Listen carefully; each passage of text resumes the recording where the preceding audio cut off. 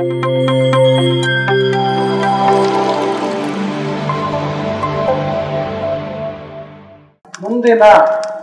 ಮಾತುಗಳನ್ನು ಆಡೋದಕ್ಕೆ ನಾನು ಸ್ವಾಗತವನ್ನು ಕೋರ್ತೇನೆ. ಸುರೇಶ್ ಕಲಬುರ್ಗಿ ಶಂಕರ್ ಅವರು ನೆರೆದಿರ್ತಕ್ಕಂಥ ಎಲ್ಲ ದೇವರುಗಳು ನನ್ನ ನಮನ. ನಮಸ್ಕಾರಗಳು ಎಲ್ಲ ಮಾಸ್ಟರ್ಸ್, ಮತ್ತೆ ಪರಮಪೂಜ್ಯ ಗುರುಗಳಾದಂಥ ಬೇಲಿಮಠ ಸ್ವಾಮೀಜಿ ಅವ್ರಿಗೂ ನಮಸ್ಕಾರಗಳು ಮಾತಾಜಿ ಅವ್ರಿಗೂ ನಮಸ್ಕಾರಗಳು ರಮೇಶ್ ನನ್ನ ನಮಸ್ಕಾರಗಳು ಎಲ್ಲ ಗಣ್ಯರಿಗೂ ನಮಸ್ಕಾರ. ಸ್ನೇಹಿತರೆ, ನಮಗೆ ಈ ಪಿರಮಿಡ್ಗೆ ಕಾರಣರಾದಂತ ಮುಖ್ಯವಾಗಿ ಕೆಲಸ ಮಾಡಿದಂತ ನಾರಾಯಣ್ ಜಿ ಅವರಿಗೆ ನನ್ನ ನಮನಗಳು. ತುಂಬಾ ಅವರ ಒಂದು ಸಂಕಲ್ಪ ಇವತ್ತು ಸಿದ್ಧಿ ಆಯಿತು ಅಂತ ನಮಗೆಲ್ಲ ಖುಷಿ ಆಗುತ್ತೆ. ಯಾಕಂದ್ರೆ ಅಷ್ಟು ಅದ್ಭುತವಾದ ಒಂದು ಪಿರಮಿಡ್ ಅನ್ನು ನಿರ್ಮಾಣ ಮಾಡಿದ್ದಾರೆ. ಎಷ್ಟು ಚೆನ್ನಾಗಿ ಬಂದಿದೆ ಅಂತ ಹೇಳಿದ್ರೆ ಪಿರಮಿಡ್ ಯಾವುದೂ ಏನು ಕಡಿಮೆ ಆಗಿಲ್ಲ. ಅಷ್ಟು ಇಂಜಿನಿಯರಿಂಗ್ ಮಾರ್ವಲ್ಲು ಮತ್ತೆ ಅಷ್ಟೇ ಶುದ್ಧ ಮನಸ್ಸಿಂದ ಇದು ಈ ತರನೇ ಇರಬೇಕು, ಈ ತರದೇ ಕುಡಿಯೋಕ್ ಜಾಗ ಇರಬೇಕು, ಕಲ್ಯಾಣಿ ಈ ತರ ಇರಬೇಕು. ಎಲ್ಲದಕ್ಕೂ ಯಾರ್ಯಾರು ಅದಕ್ಕೆ ಸಂಬಂಧಪಟ್ಟವಾಗಿ ಸಹಕರಿಸಲಿಕ್ಕೆ ಸಹಕರಿಸ್ಲಿಕ್ಕೆ ಯಾರ್ಯಾರು ಮಾಸ್ಟರ್ಗಳು ಬೇಕು ಅವ್ರಿಗೆಲ್ಲರಿಗೂ ಒಂದುಗೂಡಿಸ್ಕೊಂಡು ಇದನ್ನು ನಿರ್ವಹಣೆ ಮಾಡಿಕೊಂಡು ಇದನ್ನ ಸಕ್ಸಸ್ಫುಲ್ ಆಗಿ ಇವತ್ತು ಲೋಕಾರ್ಪಣೆ ಮಾಡ್ತಾ ಇದ್ದಾರೆ ಅಂತ ಹೇಳಿದ್ರೆ ಅದು ಒಂದು ಅದ್ಭುತವಾದ ಕಾರ್ಯಕ್ರಮ ಅಂತ ಹೇಳಬೇಕು. ಜೋರಾಗಿ ಚಪ್ಪಾಳೆ ಮತ್ತೆ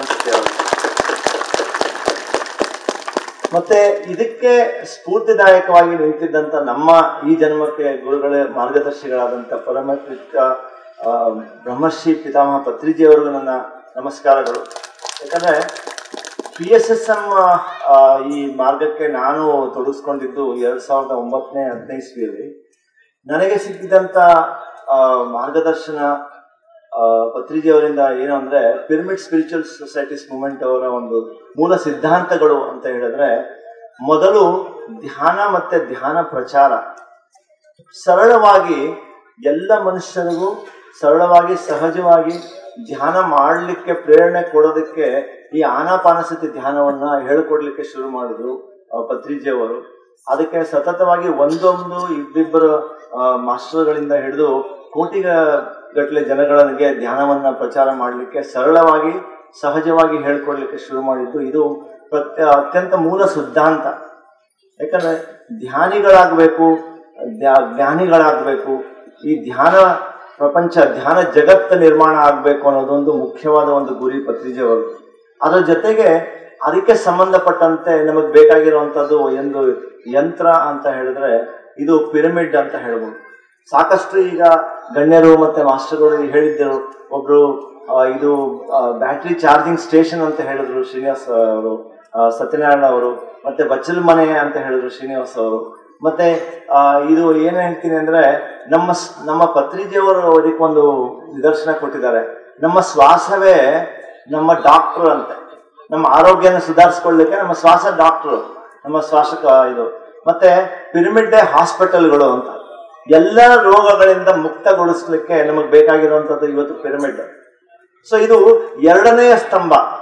ನಮ್ಮ ಪತ್ರಿಕೆಯವರು ಕೊಟ್ಟಂತ ಎರಡನೇ ಸ್ತಂಭ. ಮೊದಲನೇ ಸ್ತಂಭ ಅಂದ್ರೆ ಧ್ಯಾನ ಮಾಡೋದು, ನಮ್ಮ ಉಸಿರಾಟದ ಜೊತೆಗೆ ಇರೋದು. ಇದು ಯಾಕಂದ್ರೆ ನಾವು ಈ ದೇಹದಲ್ಲಿ ಹುಟ್ಟಿದಾಗಿಂದ ನಾವು ಈ ದೇಹವನ್ನು ತ್ಯಾಗ ಮಾಡುವವರೆಗೂ ನಮ್ಮ ಜೊತೆಗೆ ಇರುವಂತದ್ದು ಅಂದ್ರೆ ನಮ್ಮ ಉಸಿರಾಟ.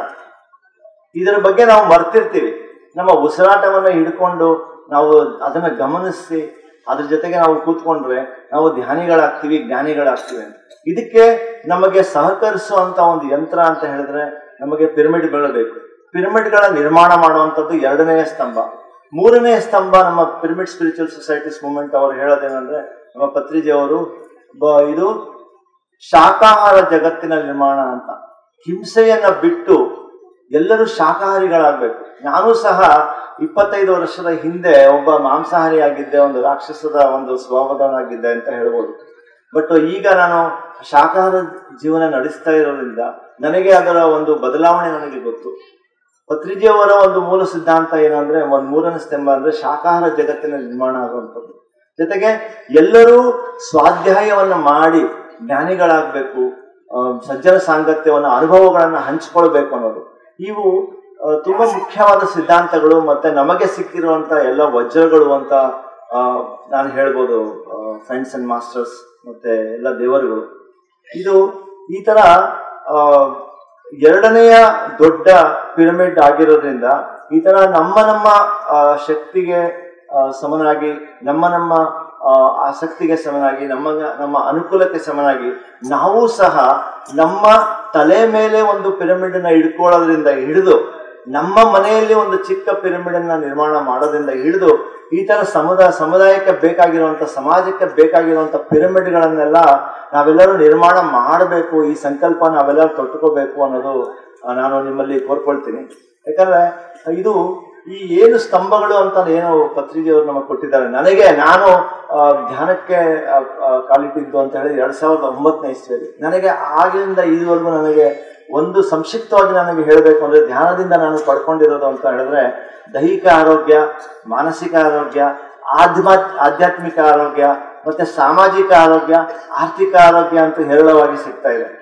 ಸೊ ಒಬ್ಬ ಮನುಷ್ಯ ಸಮನಾಗಿ ಸಮತೋಲನದ ಜೀವನ ನಡೆಸಬೇಕು ಅಂತ ಹೇಳಿದ್ರೆ ಈ ಐದು ಆರೋಗ್ಯಗಳು ತುಂಬಾ ಮುಖ್ಯ ನಮಗೆಲ್ಲರಿಗೂ.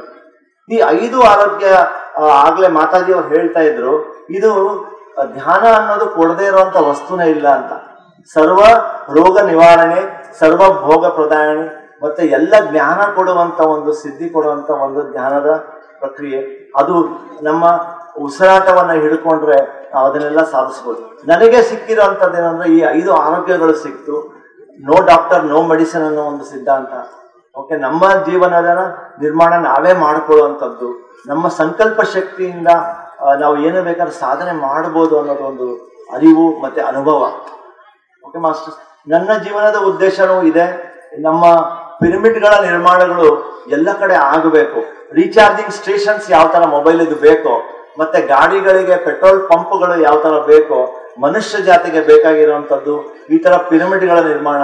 ಎಲ್ಲ ಧರ್ಮದ, ಎಲ್ಲ ಪ್ರಾಂತದ ಮನುಷ್ಯರು ಈ ಪಿರಮಿಡ್ಗಳಿಗೆ ಬಂದು ತಮ್ಮಲ್ಲೇ ನಡೀತಾ ಇರುವಂತ ಸದಾ ಸದಾ ಕಾಲ ನಡೀತಾ ಇರುವಂತ ನಾವು ಕೂತಿರ್ಲಿ, ಎದ್ದಿರ್ಲಿ, ನಿಂತಿರ್ಲಿ, ಮಾತಾಡ್ತಾ ಇರ್ಲಿ, ನಿದ್ದೆ ಮಾಡ್ತಾ ಇರ್ಲಿ, ಕೋಪದಲ್ಲಿ ಇರಲಿ, ನಮ್ಮ ಜೊತೆ ಇರುವಂತ ಪ್ರಾಣವಾಯುವನ್ನ ಹಿಡ್ಕೊಂಡು ಅದನ್ನ ಗಮನಿಸಿ ನಮ್ಮ ಧ್ಯಾನ ಸಾಧನೆ ಮಾಡುವಂತ ಒಂದು ಕಾರ್ಯಕ್ರಮ.